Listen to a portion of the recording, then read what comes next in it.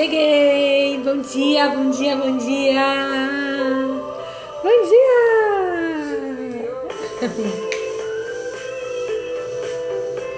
E aí, como vocês estão? Tô com uma cara de batata, né? Tô toda redonda. É, beleza. Bom, vamos bater um papo sério. É... Espero que todos estejam muito bem. Provavelmente terça-feira que vem, não sei se eu vou conseguir fazer o periscope. Prometo que eu vou tentar. É... Mesmo longe, estarei perto, né? E tô toda redondinha, tô toda inchada já. Estelinha já tá começando a dar sinal de Kevin pra esse mundo, então vamos respeitar, né? Bom, galera, é... essa semana aconteceu muita coisa, né? Muita coisa mesmo. E eu tenho visto muita gente preocupada com diversos assuntos. E é óbvio que quem me acompanha já há bastante tempo sabe que eu não discuto política, porque eu não gosto mesmo, não, não acho que vai levar muito lugar. Eu acho que o problema nosso é maior é a educação mesmo. Então, discussão de política não, não vai me levar muito longe, por isso que eu evito. Mas um assunto que tá deixando todo mundo incomodado, né? É essa história da, da advogada que foi morta. E é um assunto pesado, né? Para começar logo cedo a nossa conversa. Não tem muito a ver com concurso, mas ao mesmo tempo tem a ver com concurso. E por que, que eu digo isso? É porque eu sei que tem muita gente aqui que está buscando cargos que trabalharão diretamente com esse tipo de situação, né? E a gente tem que ter o pé no chão, tem que ter o pé na realidade mesmo e ter noção do que acontece lá fora. E é interessante para a gente que é mulher fazer uma avaliação e se perguntar é, até que ponto a, né, a mulherada tem que aceitar determinados tipos de é, assédio, não tem que aceitar, né? Humilhação, é, enfim, qualquer tipo de violência mesmo. Infelizmente, eu fazendo essa reflexão, eu puxei várias pessoas conhecidas, amigas, que eu sei que eu tenho conhecimento, que sofrem e sofreram violência é, e aqui a violência de não só física, tá, gente? Infelizmente, é, pessoas que, sabe, é, é, amigas próximas até, que mandam foto, tipo, com hematoma e você fala, gente, como assim? Não, para. É, só que infelizmente a gente não pode assumir a vida do outro, né? E por que, que eu digo isso? Porque, bom dia, Ringo, vem cá dar oi pra galera. Por que, que eu digo. Ó, o Ringo dando oi pra vocês. Por que, que eu digo isso? É, quando eu falei para vocês lá no, no. Aqui, no próprio Insta, no feed, como evitar pessoas negativas. E dentro dessas ideias de como os cinco passos para evitar pessoas negativas, eu falei que a gente não deve assumir a vida do outro. É, quando a pessoa vem com problemas, a gente pode ouvir, a gente pode tentar ajudar, mas a gente tem que lembrar que a gente não pode assumir o problema do outro, porque é o outro que tem que decidir. Ontem eu mandei um e-mail para vocês. É, hoje vai para o resto da galera, porque eu sei que eu dividi em duas partes o e-mail. Então, uma parte recebeu ontem, outra parte recebe hoje esse e-mail. Perguntando o que, que vocês esperam dessa semana. Porque a gente sempre começa a semana, sempre começa o ano, sempre começa o mês esperando alguma coisa das datas. Mas na realidade não são as datas que, que a gente tem que esperar delas alguma coisa. Não, a gente tem que esperar da gente mesmo. Então a gente é que tem que agir, a gente é que tem que mexer. Então quando a gente está diante desse tipo de situação, é, é muito complicado, porque você tenta convencer, conversar com a pessoa. A gente está de fora, a gente mostra, poxa, você está vendo isso, isso, isso, olha o que está acontecendo. E o mais triste é, você se deparar com pessoas que é, acabam se tornando dependentes desse tipo de situação psicologicamente. Então é muito complicado, né? É muito difícil. Mas comecei o assunto com isso porque eu tenho visto que muita gente está se incomodando, muita gente. E tem que se incomodar mesmo, a gente tem que discutir mesmo, a gente tem que falar mesmo, a gente tem que enfrentar mesmo. E principalmente a mulherada, né?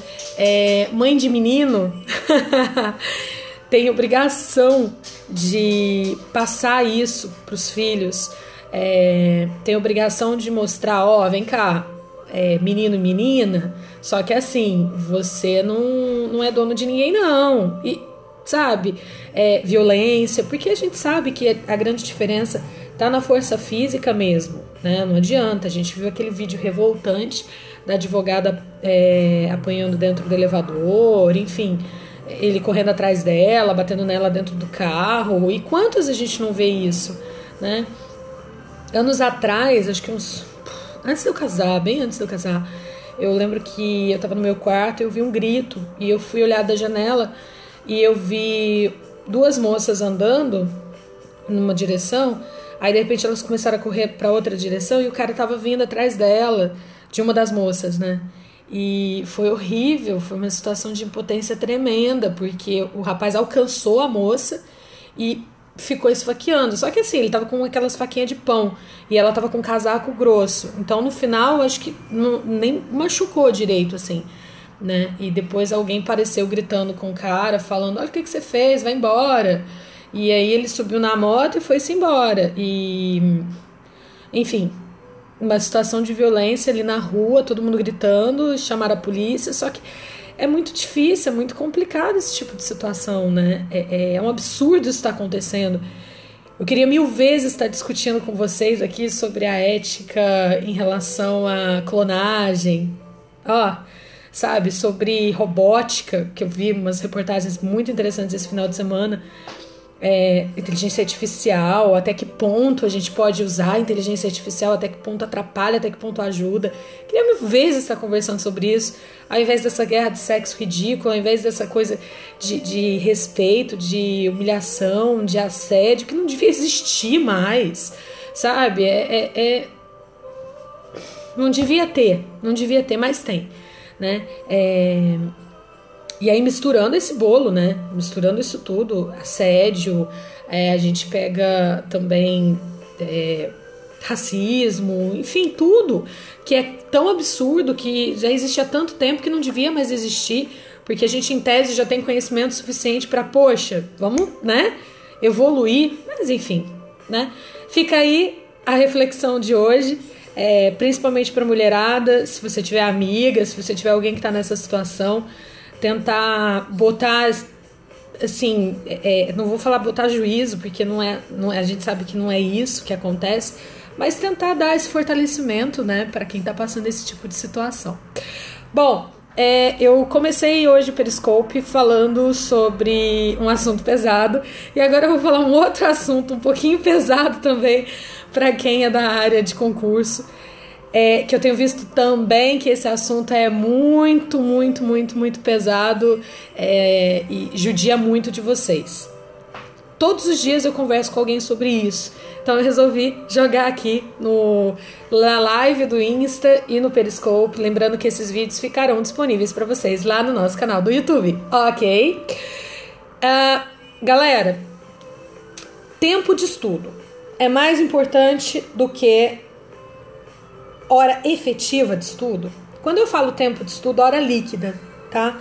Hora líquida. Eu sei que tem uns aplicativos malditos que vocês instalam no celular e que vocês param na hora que vocês vão no banheiro, vocês param na hora que vocês vão beber uma água, vocês param na hora que vocês vão atender uma porta, vocês param na hora que vocês vão atender um telefone, e aí no final, hora líquida de estudo, oh meu Deus, você ficou sentado ali o dia inteiro e aí você olha e fala, meu Deus, eu estudei sete horas, eu estudei, enfim, né?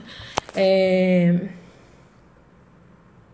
é Carlão, eu sei. O Carlos está falando que muitas vezes a gente conversa com essas pessoas e elas não conseguem tomar uma decisão. Verdade. É, e, e, é muito difícil, porque às vezes a gente está de fora e a gente está vendo a merda acontecendo, né? É, eu tenho inúmeros casos, eu não vou falar porque a pessoa pode me ouvir, pode ver esse vídeo e pode se sentir magoada, apesar de eu não falar nomes, né? É, mas é muito difícil, é muito complicado. Não, não vou falar porque são histórias muito pesadas às vezes, né? Mas eu já tive situações de amigas que é, sofreram violência mesmo física e que eu falei, ó, depois não adianta. Quando você estiver lá ensanguentada no chão, é, morrendo, não adianta você chorar, gritar pela tua mãe, pela tua família, não vai adiantar, sai dessa, você tá tendo essa oportunidade. E a pessoa não saiu. Então, assim, não morreu. não morreu, mas é, acabou se afastando, sabe? É muito difícil, é muito complicado essas coisas, sabe? É, e, é, quem não conhece? Então a gente tem que tentar mesmo ir conversando numa boa, orientando. Esse caso da advogada mesmo, vocês viram? A família não conhecia, a família desconhecia a situação, mas ela tinha uma amiga com quem ela conversava e, essa, e ela contava essas coisas para amiga, e a amiga dela falava: Poxa, sai dessa, não fica com esse cara, e não sei o que. A gente tá de fora, a gente percebe que vai dar merda. Né? A gente fala, mas, né, enfim. É, voltando ao assunto do concurso. Horas líquidas de estudo versus a hora efetivamente de conteúdo que você consegue absorver. Gente, não se prendam em horas líquidas de estudo. Vocês seguem a professora Alicia Leite, que ela. Isso, tem uns aplicativos Forest, que é, que é tudo é manter você focado. Tudo bem, a ideia de você se manter focado, se baseando nessa quantidade, hora líquida de estudo, é bacana. Só que eu tenho visto que o pessoal tem usado isso de uma forma pesada mesmo. Não, peraí, eu tenho que ficar oito horas em cima, tenho que ficar seis horas, tenho que ficar uma quantidade X. E até no trabalho a gente não deduz dentro da jornada do empregado a ida ao banheiro, a bebidinha de água, a tomadinha de café. Faz parte. É, encarem a situação dos estudos como um trabalho, como uma jornada de trabalho. Vocês precisam estar concentrados. Então, aqui não importa a quantidade de horas. Aqui não importa as horas líquidas de estudo. Aqui importa as horas que você consegue efetivamente ficar concentrado. Aquela, mas eu procrastino muito eu paro toda hora, eu vou mexendo no celular, aí é controle teu. Aí você tem que se observar e falar: não, peraí, calma. Eu tenho tido esse tipo de comportamento, eu vou cortar. Nem tem aquelas técnicas, né, que a gente passa às vezes, técnica do pomodoro, as metas também que você tem que ir cumprindo conforme você for estudando. É, é importante você ter essa noção, não, eu tenho que fazer isso aqui hoje, mas dentro da tua realidade. Não cria uma realidade paralela, não, achando que, ai meu Deus, eu vou estudar isso daqui, mas eu sei que o meu rendimento é menor do que esse. Calma, vai forçando aos poucos, você vai melhorando o teu rendimento conforme você for estudando e caminhando nos estudos. É a mesma coisa, olha o meu tamanhinho, né? Tô com um barrigão desse tamanho, engordei pra caramba na gravidez, tô inchada, e aí daqui a pouco a Estelinha nasce. Ok, ótimo. Aí a Estelinha nasce e eu vou voltar pra academia. Um mês depois, liberado, ok. No primeiro dia da academia eu vou falar, eu vou correr 10 quilômetros. Óbvio que não vai dar certo. Óbvio que não, não, não vou chegar em lugar nenhum. Se eu conseguir correr metade, eu vou estar estourada no dia seguinte, posso me ferrar inteira, ferrar a articulação e o caramba. É assim? Imediato? Não. Aos poucos. E esse aos poucos merece também atenção e o que? Manutenção do ritmo disciplina constante, estudo paulatino e constante. Esse é o segredo. E é lógico, dentro desse estudo paulatino e constante, você tem que respeitar o que? A tua realidade. Não só a tua realidade dentro da quantidade de matéria que você vai conseguir estudar por dia, e não necessariamente tem que ser todos os dias. Tem gente que fala assim: ah, não consigo estudar todo dia, só dia sem dia não, porque as minhas obrigações e tal e tal e tal. Gente, se adequa dentro da tua realidade. Não é porque o coleguinha ali às vezes posta uma foto né? É, ou fala que funcionou para fulano, funcionou para ciclano, que você vai fazer assim, não, eu tenho que me adequar a esse tipo de situação. Não, você tem que se adequar à tua própria situação para funcionar, para dar certo. Cada um tem a sua própria história, cada um tem o seu próprio caminho. Lembrem-se disso, vocês têm que fortalecer isso, ok? Então, o que, que é mais importante, quantidade ou qualidade de estudo? Obviamente é qualidade ok? Então daqui para frente eu quero que vocês pautem os estudos de vocês em cima disso.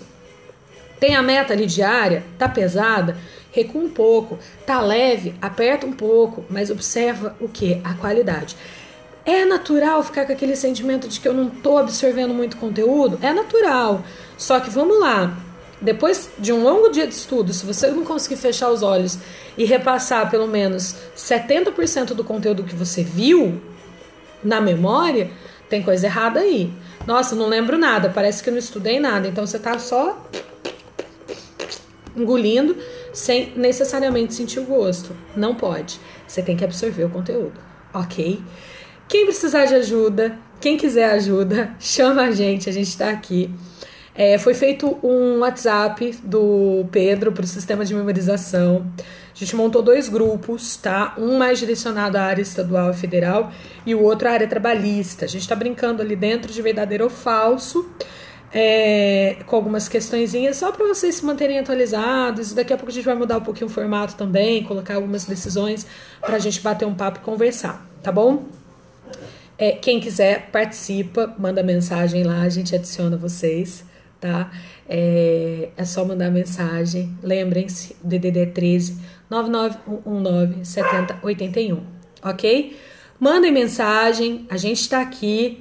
É, o que precisarem, é só gritar. Tamo junto, até o fim. Vamos que vamos! E daqui a pouco eu vou mandar uma mensagem bem bacana para os grupos do Rumatoga, tá? Áudio lacrador para começar maravilhosamente bem esta terça-feira. Beijo grande, me despeço do Insta, simbora. Tchau, tchau, galera. Compartilhar. E agora, tchau, Periscope. Obrigada quem pôde ficar comigo até agora. Tchau, tchau.